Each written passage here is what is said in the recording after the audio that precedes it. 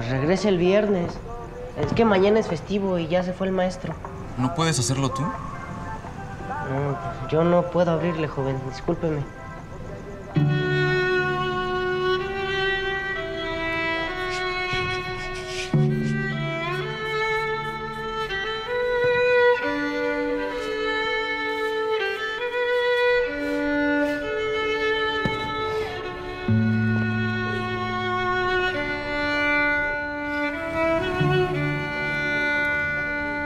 Gracias.